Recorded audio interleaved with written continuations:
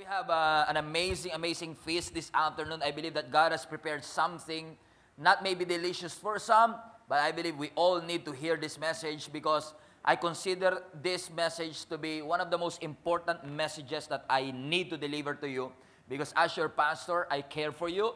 Amen. We love you. I love you personally. Amen. Hallelujah. Aww. Amen. And I know you love me too. And we all need to hear this. Amen. For the past few weeks, I don't know if you noticed, mula pa dun sa topic nating Vision for Victory and saying no to oh no last uh, Sunday, uh, it, see, it seems like God wants us to come uh, sa book of Nehemiah. I don't, I don't actually plan in doing that. Pero for some reason, ayaw akong paalisin ng Lord sa Nehemiah. So, uh, ang na-share ko lang naman sa inyo, yung nire-reveal din sa akin ng Panginoon. So, uh, I believe God has a plan for us and hopefully makatulong po ang mensaheng ito sa bawat isa sa atin. How excited are you to hear the message of the Lord this afternoon? I'm so excited. Yung side na to, excited. Sana maging stereo, no? Hindi lang left, meron ding right. Hallelujah. Mas maganda kung surround. Nehemiah chapter 4, verse 13 to 17. Ang sabi rito, Therefore I, referring to Nehemiah, stationed some of the people behind the lowest points of the wall at the exposed places, posting them by families with their swords, spears, and bows.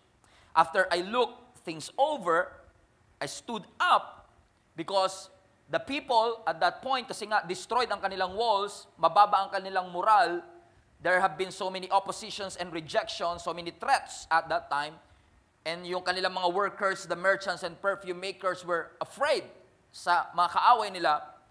But bilang leader, tumayo si Nehemiah to encourage the whole crowd. At ang kanyang crowd is composed of nobles, officials, ang sabi rito, and the rest of the people, and sabi niya, don't be afraid of them. In other words, don't be afraid of your enemy. Huwag kayo matakot kung may threat. Huwag kayo matakot kung may opposition. And I believe, 4,000 years later, nandito tayo ngayon, same message ang pinipreach ng Panginoon sa atin, don't be afraid. Kung ano man ang kinakatakutan mo sa bahay, huwag kang matakot, ang sabi ng Panginoon sa atin, don't be afraid of your enemies. Kasi yung bagay na kinakatakutan mo on the, on the other side of your fear, there is, de- there is your destiny. On the other side of your fear is your blessing. On the other side of your fear is your breakthrough. You won't see that breakthrough if you will not face your fears. Kaya sabi ng Panginoon sa atin, don't be afraid. So how would I do that? Remember the Lord. He's great and He is awesome. Ang Panginoon natin ay dakila. He's perfect. He's awesome. So kung natatakot ka sa buhay, ang payo ni Nehemiah sa atin, alalahanin mo lang ang ginawa ng Panginoon sa iyo. Alalahanin mo kung sino ang Diyos mo. Alalahanin mo na ang Diyos mo ay great and awesome because sometimes God is allowing yesterday's problem so that we will have wisdom for our today's problem. Inaalaw ng Panginoon ang mga problemang pinagdaanan mo ng 2018 para pagpasok ng 2019, may panibagong wisdom tayo para hapin ang mga susunod na problema sa ating buhay. Hallelujah! Sabi niya, remember the Lord who is great and awesome, and I love this part, and fight for your families. Fight for your sons. Remember, kung matatakot kayo sa kanila, anong kakasapitan ng ating pamilya? Anong kakasapitan ng ating mga anak, your daughters, your wives, and your homes? And when, when our enemies heard that we are aware of their plan, in other words, nung nalaman ng mga kalaban na nabuko sila sa kanilang plano to kill us, And that God had frustrated it. I love that part. Ibig sabihin, kakampi talaga nila ang Panginoon. Kasi kung hindi man natatakot yung kaaway sa mga merchants and perfume makers, obviously, takot sila sa Diyos. And God frustrated their plans. Pinigil, inabort ng Diyos ang plano nila to kill these people. And sabi niya, and since the enemy heard that we are aware of them, we all returned to the wall, to our project, and each to our own work.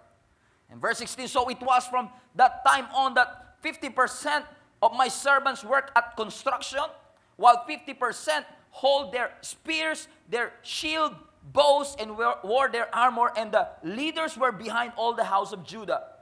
And verse 17, and those who built on the wall, and those who carried burdens, loaded themselves, so that with one hand they work at construction, sabihin nyo, one hand, and with the other hand they hold a weapon. I love that scene. Ang sabi niya, dahil takot sila sa threat, pero kailangan nilang tapusin yung wall, ang naging diskarte ni Nehemiah, okay guys, humawa kayo ng martilyo sa kanan to build the wall at humanap kayo, humawa kayo ng espada to defend yourself from the enemy. I want you to build the wall and be alert about the enemy. For the next three years, I want to talk to you about on this. For the next two days, I want to okay, okay. For the next few moments, I want to talk to you about on this subject: build and fight. Build. Sabi sa katabi mo, build and fight. I don't know. I'm excited to preach this. I- I've been. Uh, this is my fourth time I've been preaching this subject, but I'm excited, mga kapatid. Build and fight. Actually, we're talking about the story of Nehemiah. Nehemiah was a prophet, and uh, based on the teachings that we've learned for the past two weeks, and by the way, we have a Spotify account na pwede nyo marinig yung preachings natin two weeks ago. We have been preaching about Nehemiah. We've known na si Nehemiah was an influencer. Kung meron siyang social media account, obviously marami siyang followers. Meron din siya mga posters. May mga tao na nagpe-pretend because he was an influencer. But aside from being an influencer, he, is also, he was also a cupbearer. Ang ibig sabihin ng cupbearer, bago uminom yung hari, iinumin niya muna. Bago kumain ng hari, kakainin niya muna yung pagkain ng hari. In other words, malapit siya sa hari. Pero si Nehemiah, although working for the king, actually he was working for the enemy.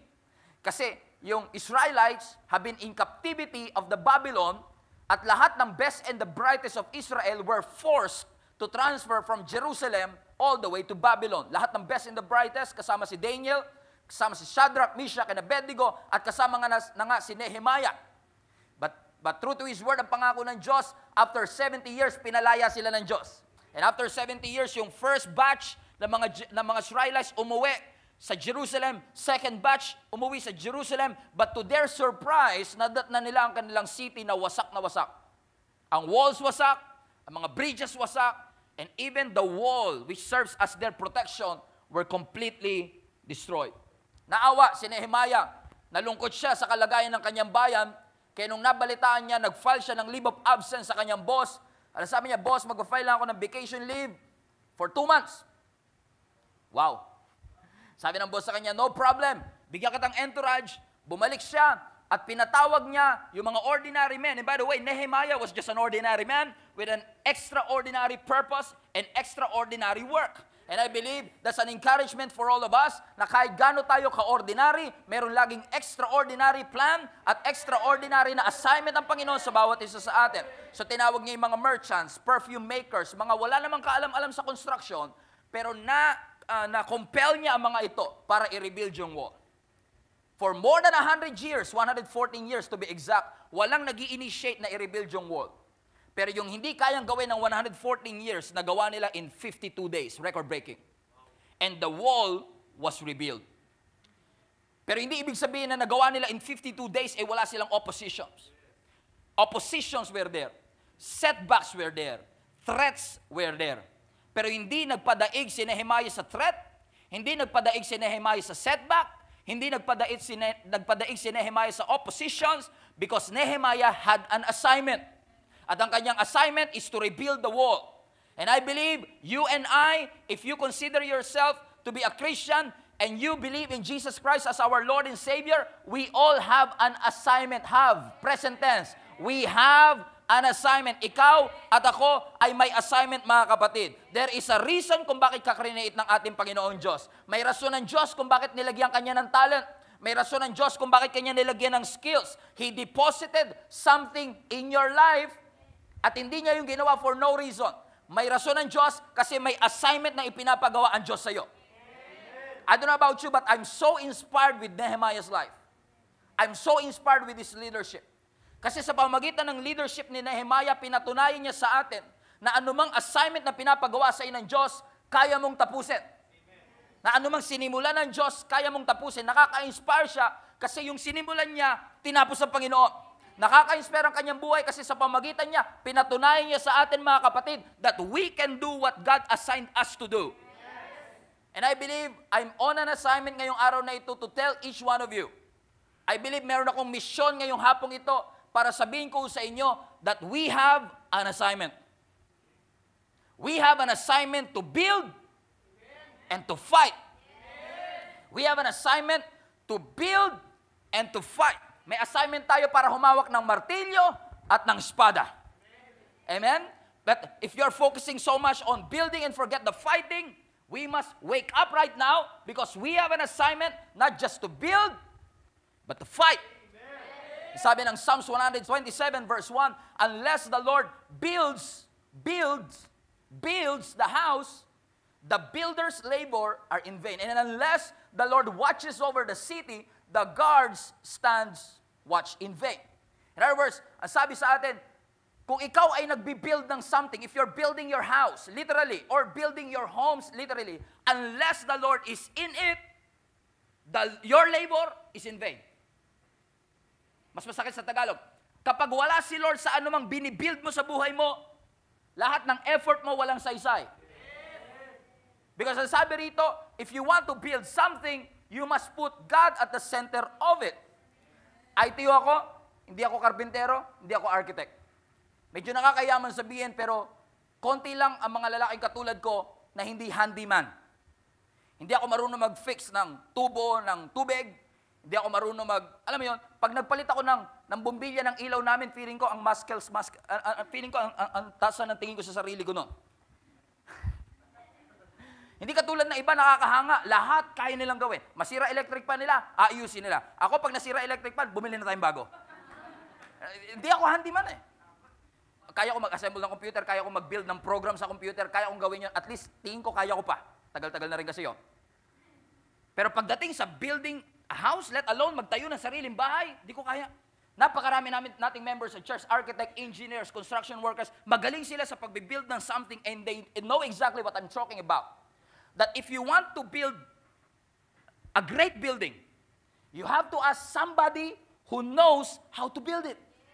So if want, I want to build my own house, huwag niyo ipagkatiwala sa akin ng design, ang engineering aspect nito.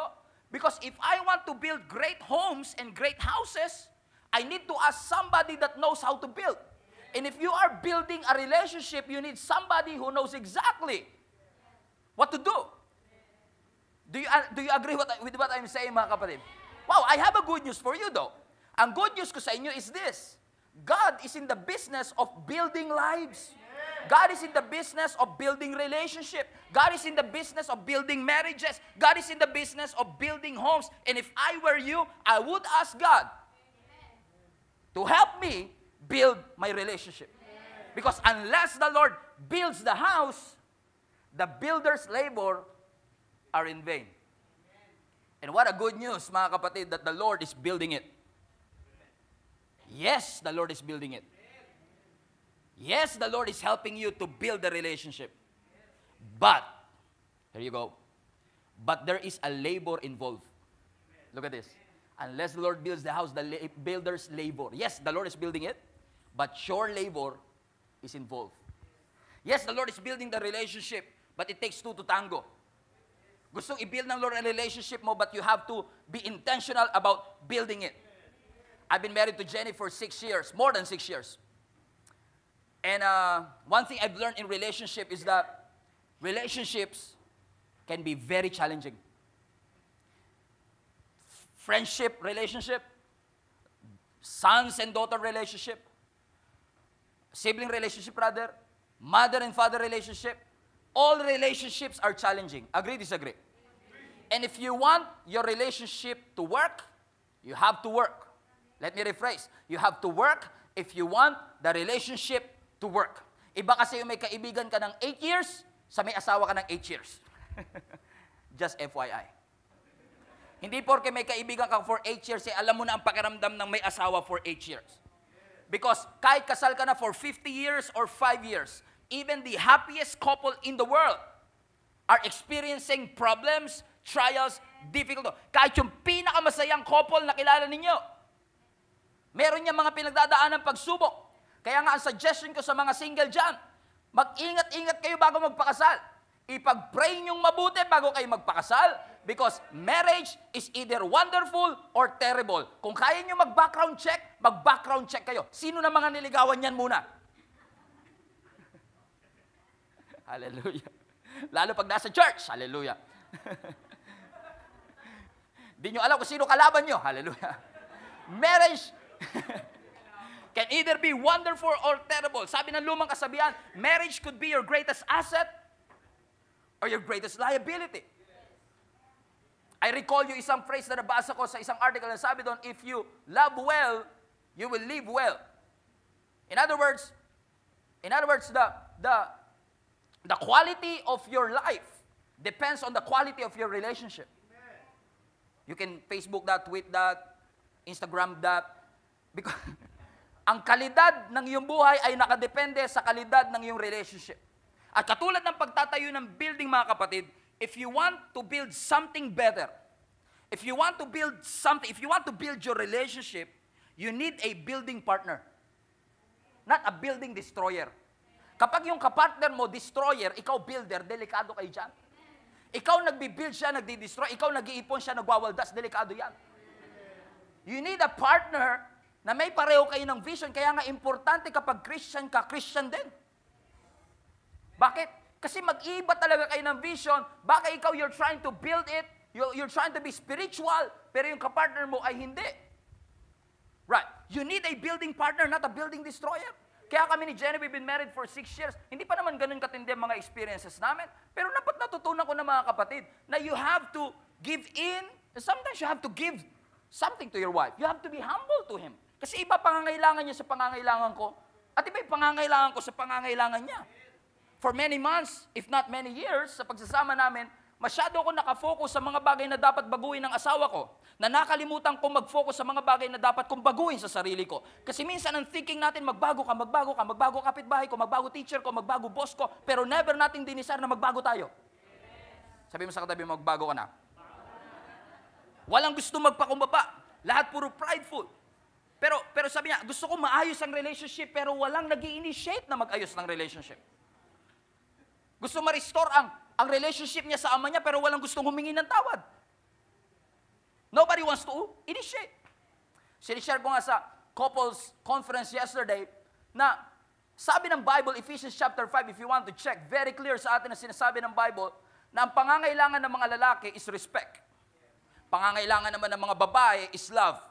Papansin nyo yung mga babae, sinabihan mo na ng I love you, kailangan mo pang ulit-ulitin. At kailangan hindi lang once a day. Because they want to feel secure. Hallelujah. Pag minsan wala ako, two days, sinasabi ko naman sa text na I miss you, I love you, pero pag uwi ko ng bahay, sasabihin niya, na-miss mo ba ako?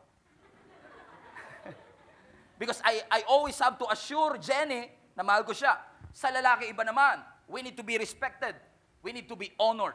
Alam natin yun. Actually, kahit di kayo umatin, alam nyo na yun eh. Alam nyo na na ang lalaki kailangan ng honor and respect at ang babae kailangan ng love. Pero ang problema, walang gumagawa. Kasi ang katwiran natin, bakit ko siya mamahalin? Hindi nga siya marunong mag-submit. At sasabihin naman ng babae, ba't ako magsasubmit? Eh, hindi niya nga ako mamahal. Sila? Alam mo, kailangan mong mag-submit. Pero hindi ka nagsasubmit kasi hindi ka minamahal. Alam mo, kailangan mo mahalin ang asawa mo pero hindi mo siya minamahal kasi hindi siya nagsasubmit. Alam natin ang responsibilidad natin pero walang gustong mauna. Walang gustong maunang magpakumbaba. Kasi na-realize ko sa relationship namin ni Jenny, kapag minamahal ko siya, nagsasubmit siya. Isa domino effect. So kung aantayin ko lang lagi na mahalin niya ako bago ko mag-submit sa kanya, puputi ang mata nating kakaintay. Walang mangyayari mga kapatid. Because at some point in our life, based on my experience, maybe not an absolute truth mga kapatid, pero based on the experiences and the counselings that I've been through, yung mga nag, naghihiwalay na mag-asawa, kung meron lang isang magpapakumbaba, malaki ang tsansa na hindi matuloy ang paghihiwalay. Kasi ang gusto lagi natin madala sa relationship, kahit kaibigan pa yan, kahit nanay o tatay, gusto natin tayo ang boss. Ako ang boss dito sa relationship na ito. Nay, ako ang boss sa relationship to. Dapat walang boss sa relationship kasi si Lord dapat ang boss sa ating relationship. If you want to make the most out of your marriage, you both have to be servants, not the boss. That's what we're trying to do. Kasi first year in marriage, hindi naman kami nagsasama ni Jenny sa isang bahay bago kami ikasal. So, I don't really know her personally. And she doesn't really know me personally. Kaya nung, nung kinasal kami, ang, ang basehan namin yung sa mga Disney film.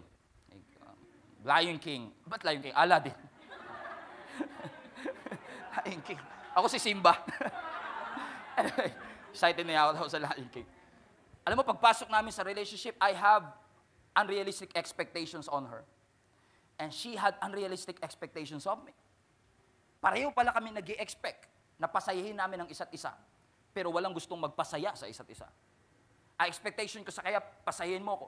Ang expectation niya sa akin, pasayahin mo ko. Pero walang nag expect na papasayahin kita. Because nobody wants to initiate. And then I realized, hindi porke kailangan ko ng submission, kailangan ng wife ko ng submission. What she need is love. And all we need is love. Kanta yata yun. And then I found out, and I made this theory, that marriage will kill you.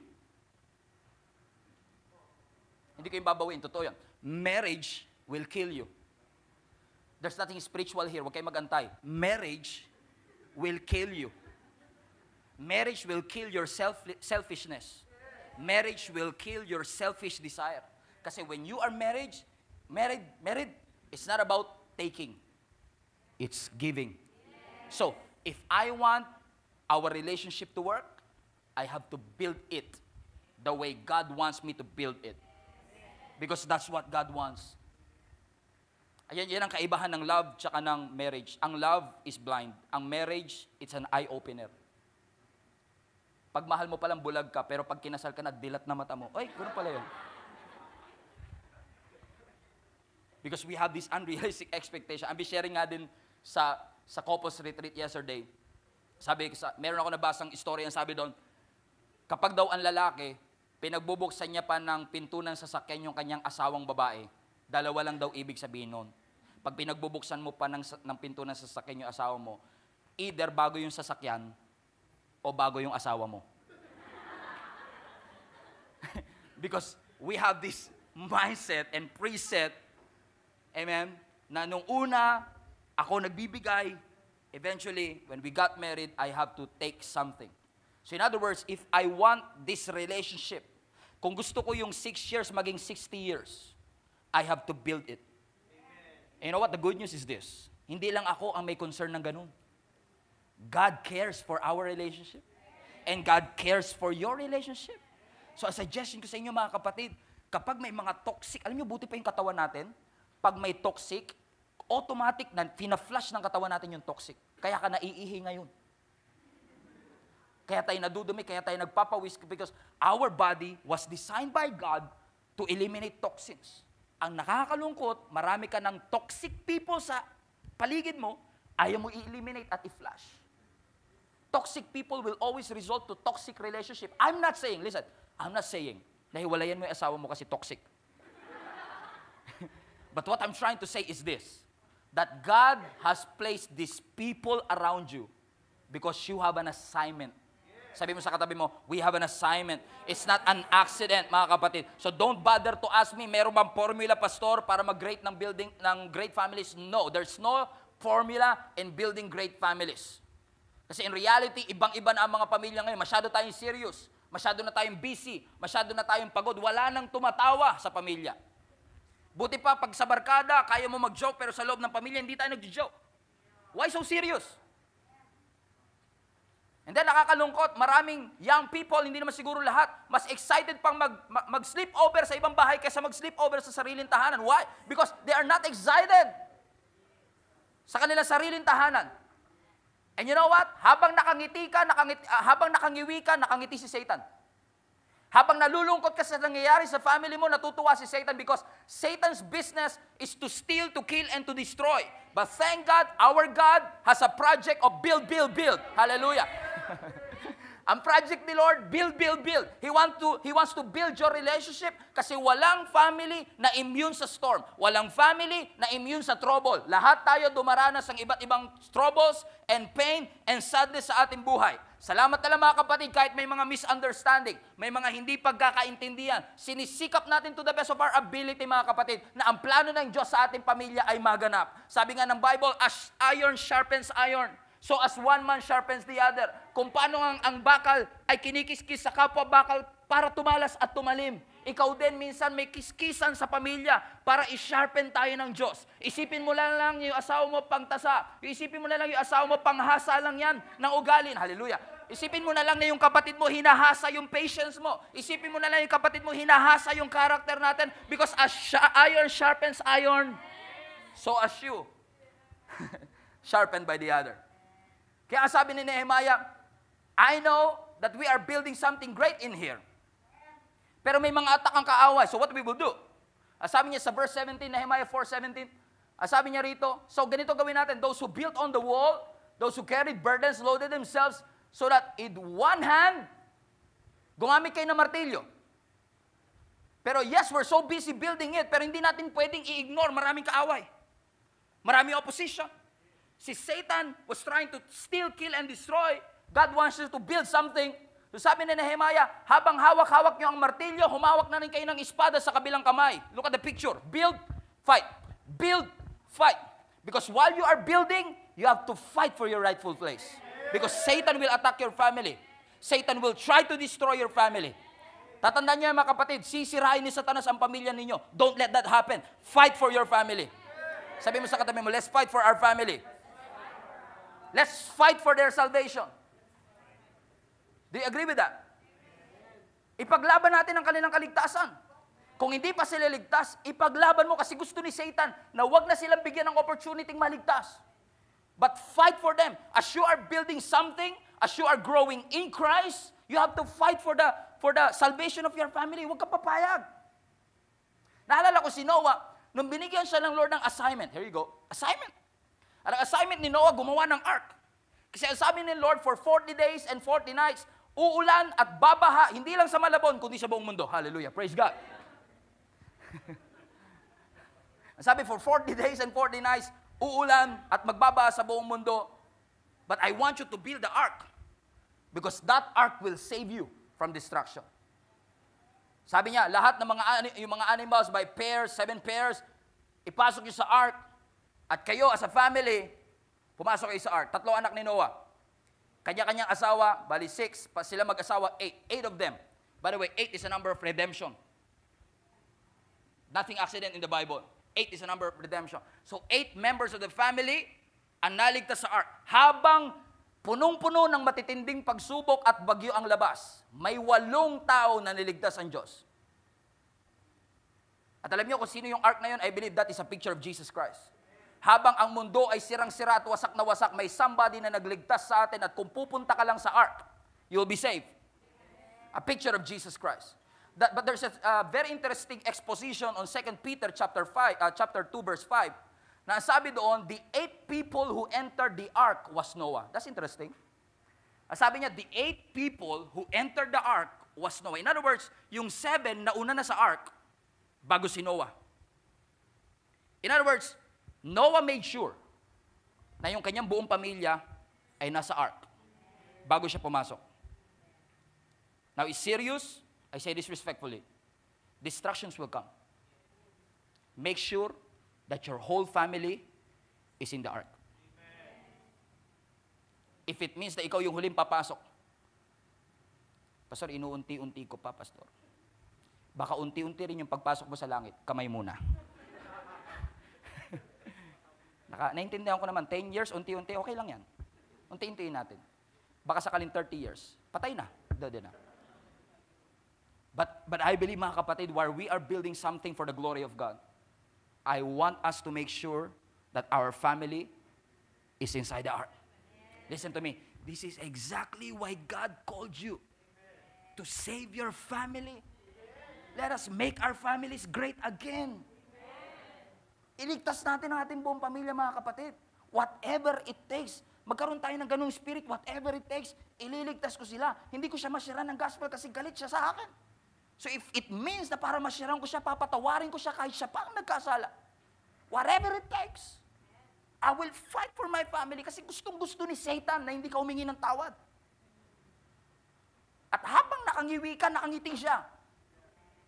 So let us fight for our family. If it means that I have to resolve the conflict, I will do it. If it means that I have to forgive her, forgive him, I will do it. Because I will do whatever it takes. Because if you don't do it, you will live miserable lives. Don't do it, and you will live a miserable lives. But if you do, you will see the plans of God happen in your life. Satan wants to make your relationship miserable. Don't give him the luxury of seeing you having a miserable life. Na tinatawanan tayo ni Satan, I won't allow that.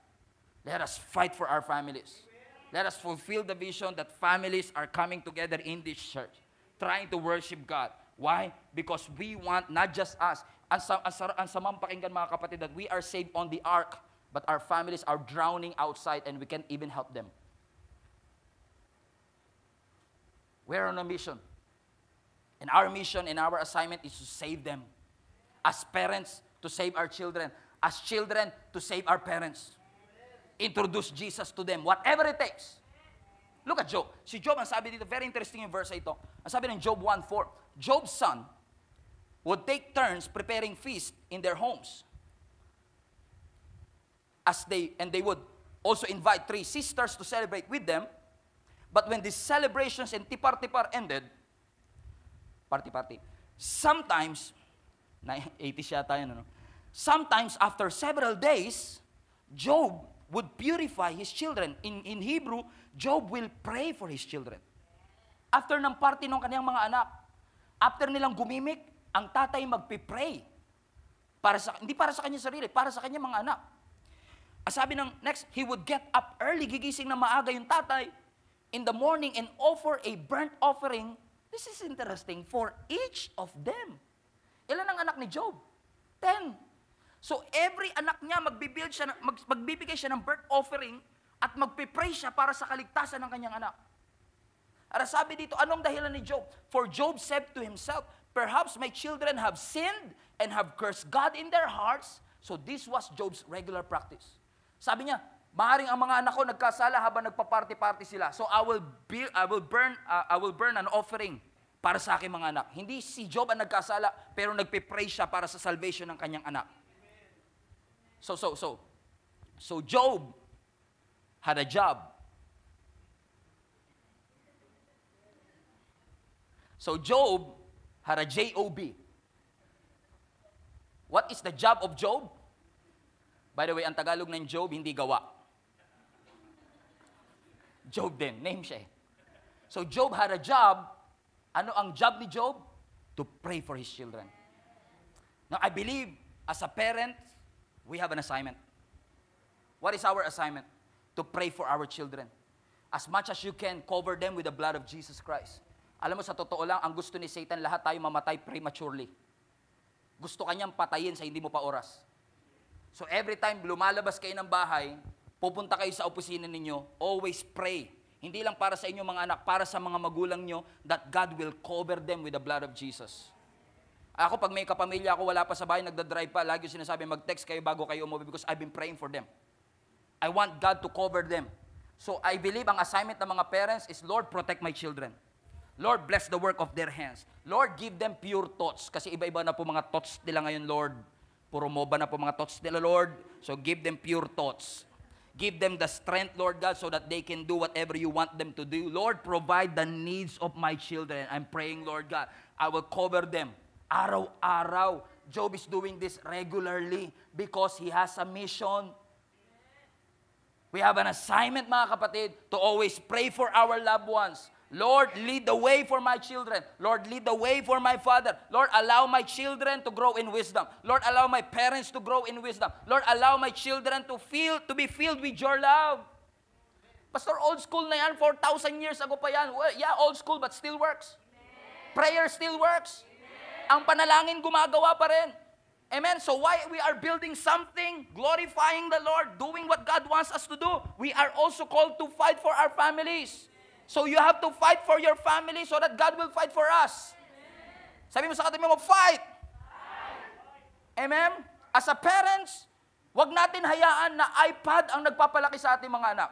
Don't allow our children na lumago at lumaki gamit ang iPhone. Hindi po iPhone dapat ang magpalaki sa kanila. I say that respectfully. Hindi dapat games ang inaalaw natin na magpalaki sa kanila. You have to be very strict.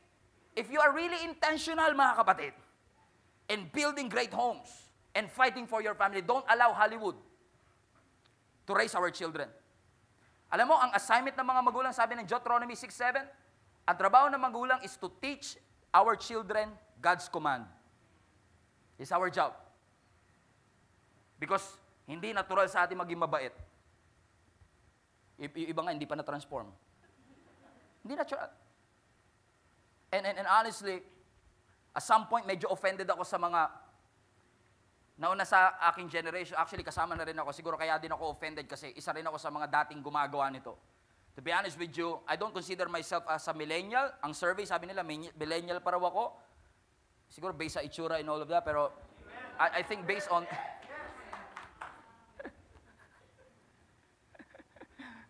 Either millennial or memorial. It's, it's your choice. Ano? so, I don't, I don't, I don't consider myself as a millennial kasi batang 90s and all that. Medyo iba na yung thinking ko with, with, with, compared to millennials. Pero I've done this too and we're still doing it now. Galit na galit tayo ngayon sa mga millennials. Ang dami nating complaints about the millennials. Ang mga millennials, mga tamad sila. Inuubos lang nila ang pera na ibang-iba yung mga kabataan ngayon. Sa mga kabataan namin, kami noon, hindi kami ganyan. Sila ngayon, pahila-hilata lang dyan. Tapos pamoba-moba lang dyan, may project daw, pero nakahiga yung cellphone. Paano pa-project? Nakahiga yung cellphone.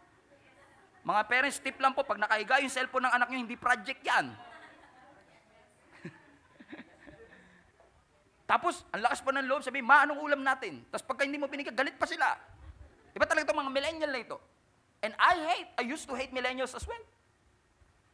Pero the question is this, sino bang nagpalaki sa millennials?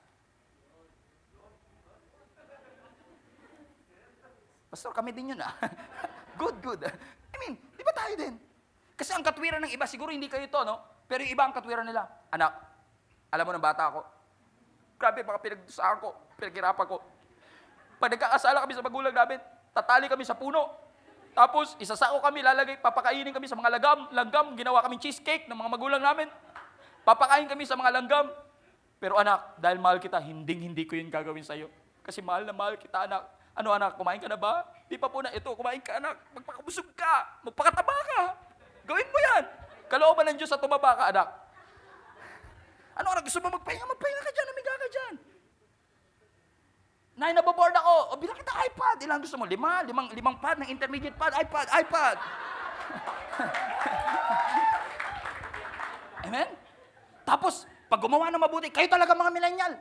Iba na iba na talaga kayo. Hindi na kayo talaga matitigas sa mga ulo ninyo. Paluin kita dyan eh. Oo, oo, oo. Huwag mo papaluin. Susumog kita sa bantay bata. Samantalang dati, gulpi, sarado namin. Walang bantay bata. Right? No, in- uh, maybe not an absolute truth, but is it possible na tayo din, as parents, ang may kasalanan kung bakit na-spoil sila? Kasi, di ba iba yung way ng pagpapalaki sa atin sa pagpapalaki sa kanila? So bakit tayo nag expect ng same result? So, so I, I guess mga kapatid, as a parent, as, as millennial ourselves, we all have assignments.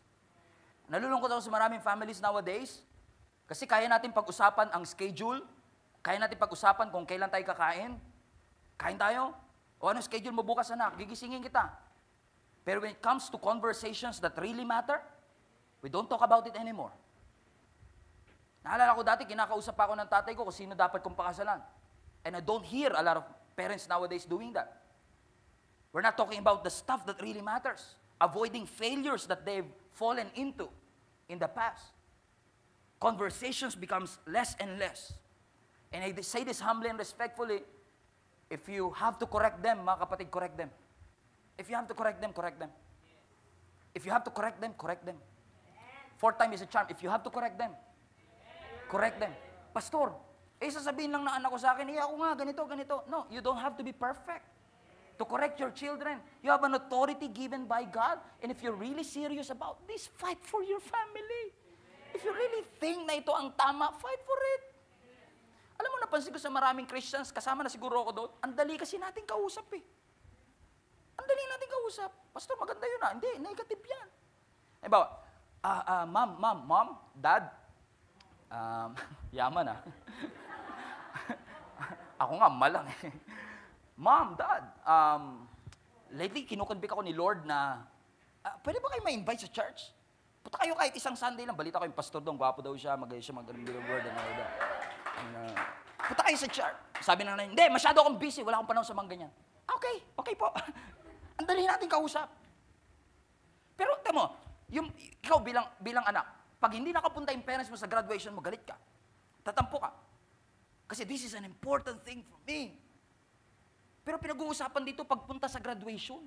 Pero yung pag invite hindi lang pag-invite sa church yun, pag, pag- pag-invite papuntang langit yun. Pag na-hold up ka ba, halimbawa na-hold up ka, sinabi sa'yo, hold up to! Ah! Wala po akong kahit ano. Ano meron kanya? Candy lang po nag-iisa. Naiwan ko lang to kanina eh. Pampawala ng antok namin mga ano to, worship. Kasi po straight ako kanina eh. Ito lang po, mento. Sige, pwede na yan. Hold up, huwag ka susunod ha. Huwag susunod. Baka manlalabang ka pa. Manlalabang ka ba kapag kinuha sa mentos? Tapos pag napatay ka, isang bata napatay, nanlaban kasi kinuha yung mentos. Parang, wow, ang pangit ang balita ng pagkamatay mo. Pero kapag ang kinuha sa'yo is something really dear to you, cellphone nga lang, kapatid. Nakikipagpatayan tayo sa hold-upper. Tapos si Satan, kinuha na yung buong pamilya natin. Ayaw nating lumaban. Pagka talaga, ah, kapatid, kung ako, tatay at nanay, ang suggestion ko lang, kapag sinabi ng anak niyo, ayaw kong pumunta sa church, ano ba gusto mo mangyari? Gusto mo ba siya mapalapit sa Diyos? Yes, Pastor. Then fight for it. Tindigan mo yung tama. At sabihin mo sa kanya, anak, hanggat nasa puder kita, no choice ka. Kasi I stand for what is right, I fight for what is right. Yes, I'm building something in church, but I have to fight for my family kasi hindi ako papayag na kinukuha ka ni Satanas right before my very eyes. Right? Sabi mo sa katabi mo, fight for our family. Ipaglaban natin na lumaki silang malapit sa Diyos. Ipaglaban natin, mga kapatid, na mga magulang natin ay makakilala sa Diyos. Pastor, ay ayaw sumamay. Nako kapatid, kung kinakailangang araw-arawin mo pag invite Kasi Hino-hold up tayo ni Satanas eh. Papayag ka ba, kuhanin yung mga magulang natin, dalhin niya sama niya sa impyerno, pagbebentahin lang na ice tubig doon, huwag ka pumayag. Ipaglaban natin. Nasa katwiran ka naman eh. Ipaglaban mo. Hindi mo, Pamilya, hindi mo naman sila dinadala sa something na ikakapahamak nila eh. Kung kinakailangan mag-antay ka ng birthday mo, Nay, birthday ko man naman, ipamana mo na sa akin to, di ba aling walang car? Oh. Basta makasama kita sa church. Then I will do it because I'm very serious. Kung kinakailangan araw-araw, kung kinakailangan magpatugtog ka ng Spotify sa bahay niyo, tapos walang ibang makakakunik na Bluetooth, ikaw lang. Para mapakinggan niyo yung boses. To, to, to, ganito. Jesus is Alive CMNB, search nyo sa Spotify. At kung kailangan mangyari yun, do it. Because if you're really serious about fighting your fam- for your family, do it. Magpatugtog ng Christian songs kahit hindi nila gusto. Kung ayaw nyo sumama sa akin, magpapatugtog muna tayong Christian songs. Right? Pastor, unti-unti lang. Eh, 10 years na kapatid. Unti-unti pa din. Pastor, may ginagawa naman ako. Ano? Nagpipray ako. Nakot tayo dyan. Build and fight. Amen? Alam mo, may, may testimony kanina, narinig ko mismo, ay marami ng testimony ganito, by the way. Yung pera sila ay sumama, nagagalit pa talaga eh. Ginagawa nung anak, nagpapatugtog ng Christian song, wala magawa eh. Hindi marunong yung nanay mag-operate ng Bluetooth and all. Naka, naka-disable pa yung wifi. Papatugtog siya. Wala siyang kaalam-alam na nag invest na siya sa family niya. Alam mo, nung nagkaroon ng cellphone yung nanay niya, ang sabi ng nanay niya, anak, lagyan mo nga ito ng worship songs. Kala niya walang, walang investment. But because he's serious about fighting for his family, yung nanay niya ngayon, Christian na. Nagsiserve na sa Lord. That's what I call fighting for your family. Nasa katwiran ka naman eh. Ipaglaban mo. Build and fight. Ano sabi ni Joshua? Joshua 24:15. If serving the Lord seems undesirable to you, then choose for yourselves this day whom you will serve, whether the gods of your ancestors serve beyond the Euphrates, or the God of the Amorites in whose land you are living. In other words, sabi ni, ni Joshua, guys, kung, kung ayaw nyo sambahin yung Diyos ko, hindi, basta maghanap kayo ng Diyos na sasambahin nyo, basta sigurado kayo may Diyos kayo sasambahin. Kung gusto nyo Diyos sa Euphrates, go. Gusto nyo Diyos sa Amorites, go. Basta siguradong may Diyos. Pero sa dulo sabi niya, but as for me, pero kung ako tatanungin nyo, but as for me and my household, my family, my family, oh my God. but as for me and my household, we will serve the Lord. Pastor, gusto ko naman, Actually, in reality, Pastor, tumakas nga lang ako papuntang church ngayon. Hindi nga naman parents ko. Hindi nga alam na asawa ko na wala ako. Alam niya niya, bumili ako sa Victory Mall eh. Mapapabili pa tuloy ako mamaya. Pero yung mga kapatid, I understand, hindi ka talaga nila maintindihan. Pero paano mo papaintindi? Invite mo sa church nang maintindihan niya. At least ma-assure niya hindi ka pabaliw. Kasi akala niya baliw ka na eh. Akala na asawa na babaliw ka na. Nakikita ka niya, nagpe-pray sa kwarto. Nagtataas ka ng kamay, umiiyak ka habang tumatawa. Sabi, ano nangyari sa anak ko? Ano yata to? At kapag in-invite mo sila, hindi ka talaga nila maiintindihan. Pero try mo silang ayahin sa church nang maunawaan nila, ay, salamat sa Lord, hindi pa pala baliw ang anak mo. Magugulat siya, siya rin, baliw na rin pagdating na. eh, pareho na kayo nagtataas ng kamay. Pareho na kayo nagpupuri sa ating Panginoon Diyos. Meron ka bang mga unsaved members of your family? Fight for your unsaved families, mga kapatid. Ipaglaban natin. Do everything that you can to save them. Kung kailangan, kailangan araw-arawin, kung kailangan maging mabuting anak ako sa magulang ko para kumilala sila kay Lord, go. Kung kinakailangan na hindi ako naghuhugas ng pinggan, maghuhugas ako ng pinggan para makakilala ang parents ko, I will do it. Kung kinakailangan na mas magiging responsabling asawa ko sa asawa ko para makasama ko siya sa church, I will do it. Whatever it takes. Huwag nating i-expect mga kapatid na ang nanay lang ang nagpe-pray para sa pamilya, ang tatay lang nagpe-pray para sa pamilya. Huwag nating i-expect na ang preacher ang magsisave sa kanila, ang church ang magsisave sa kanila. We save them. We, we. We all save them. Amen? Ang sad reality is that ikaw mature na mature ka na sa Christian life, pero sila hindi kilala si Lord, hindi nila kilala. That's reality. We have to wake up, mga kapatid. Because God has a great plan for your life. So question, is your family worth fighting for? Sabi nila, the Filipinos are worth fighting for, but is your family worth fighting for? So if your family is worth fighting for, then save them. Then fight for them. Pastor, mukhang wala na, mag-iwalay na kami mag-aasawa. It may look like it's over. But fight for your marriage. Huwag kang basta gumipa up. Amen. It may look like sobrang daming drama sa pamilya ninyo, but it's not yet over. God still wants to use you to build and to fight. Do the best that you can, mga kapatid.